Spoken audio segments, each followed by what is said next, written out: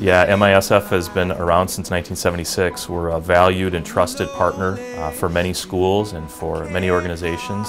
Uh, we've been in this business for a long time. We know we have good relationships that have been built over these 40 years. We value the relationships that we have and we also know that we bring a very strong, trusted, unifying voice to the dialogue of education in the state.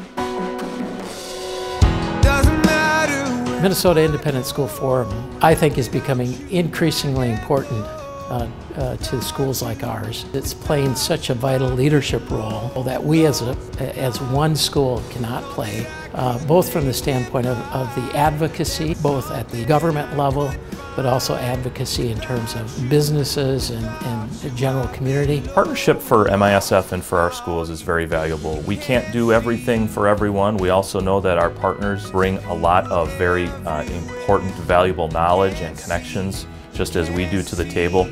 I think we realize that the importance of partnerships um, actually creates a greater awareness for our entire sector and what happens in our schools um, and it actually creates just a real good relationship among our schools, among our partners, uh, and is very valuable on both ends. As a private school, um, we have to find ways to make ourselves um, vibrant and new and fresh. And MISF helps us uh, with things like the STEM grants or the mini grants.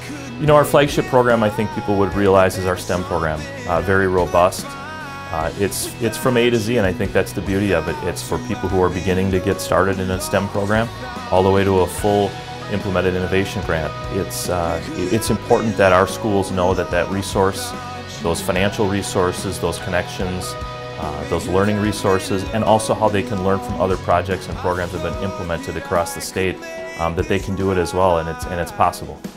Yeah, I, am really thankful to MISF because you've, you've been a godsend for, for me and for our staff for training, uh, technology training especially for grant writing. Um, our, our, teachers are always looking for free stuff and, and, you know to get a grant like what we got from, from MISF is, is a, a real godsend for us. We chose to partner with MISF because um, we recognize the important role they play in being a champion for private education in the state of Minnesota. And there's also tremendous resources like these STEM grants that would be much more difficult for individual schools to go and secure.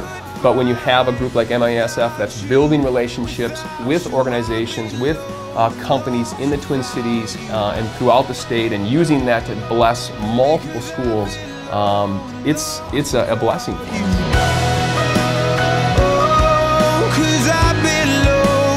Really important for our schools. That's what we hear a lot of times, is for them to be part of a larger community uh, is very valuable. That's a proposition we think is really important, that you know and you realize you're part of a bigger network.